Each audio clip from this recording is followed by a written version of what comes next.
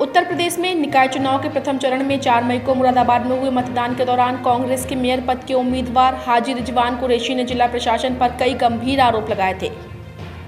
वहीं 13 मई को भी मंडी परिसर में हुई मतगणना के बाद कांग्रेस के मेयर पद के हारे उम्मीदवार हाजी रिजवान कुरैशी ने मीडिया से बात करते हुए मुरादाबाद के एसपी सिटी अखिलेश सिंह भदौरिया सहित अपर जिलाधिकारी का तंजिया अंदाज में धन्यवाद प्रकट किया था। जिसके बाद अब हाजी रिजवान कुरैशी ने भाजपा के नवनिर्वाचित मेयर विनोद अग्रवाल की होने वाली शपथ को रोकने के लिए कोर्ट की शरण ली है। उन्होंने जनपद न्यायाधीश की कोर्ट में वाद दायर करते हुए रिटर्निंग ऑफिसर समेत 11 मेयर पद के निर्दलीय और राजनीतिक पार्टियों के उम्मीदवारों को पार्टी बनाया है। जिसमें हाजी रिजवान कुरैशी ने दोबारा मतगणना की मांग उठाई है और जब तक मतगणना ना हो, तब तक भाजपा के जीते हुए मेयर विनोद अग्रवाल के शपथ ग्रहण समारोह पर भी रोक लगाने की मांग की है। वहीं अदालत ने सुनवाई के लिए 26 मई की तारीख निर्धारित की है।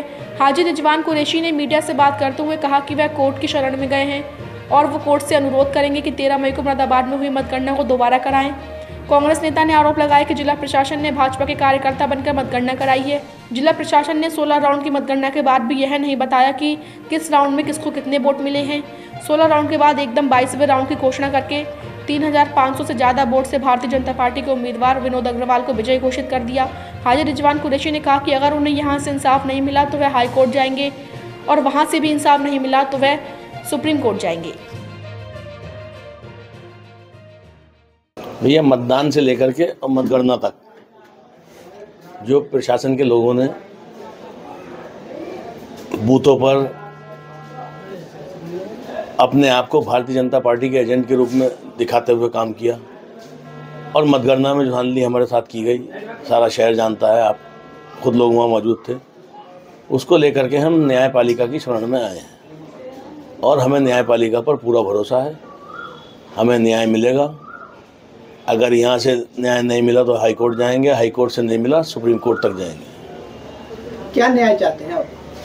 ऐतराज क्या आपका सबसे बड़ा एतराज़ तो यह है कि जो इन्होंने डिक्लेरेशन किया है महापौर पद के लिए वो डिक्लेरेशन पे रोक। हो जब तक हमारी ये इलेक्शन पिटीशन फाइनल डिस्पोज ना हो तब तक शपथ पर रोक लगी लगाई जाए स्टे करा जाए। कहाँ मानते हैं धांधली मैंने बताया ना मतदान से लेकर के मतगणना तक। हर जगह धांधली हुई है। अधिकारियों ने खुद को भारतीय जनता पार्टी के कार्यकर्ता के रूप में पेश किया है जनता के सामने। मतगणना में क्या धांधली होती? मतगणना में भी सोलहवें राउंड के बाद में बस उन्होंने जैसे उनकी मर्ज़ी करी वैसे किया अल्टा पल्टी करके। हम जीते हुए तो हरा दिया गया।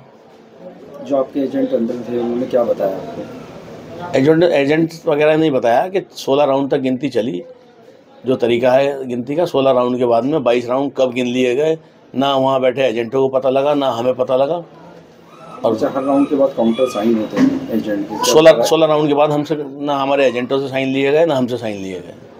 सोलह राउंड तक शायद एक आध किसी पे हमें एतराज़ तो हमने साइन नहीं करा बाकी सोलह राउंड तक हमने सब साइन किए।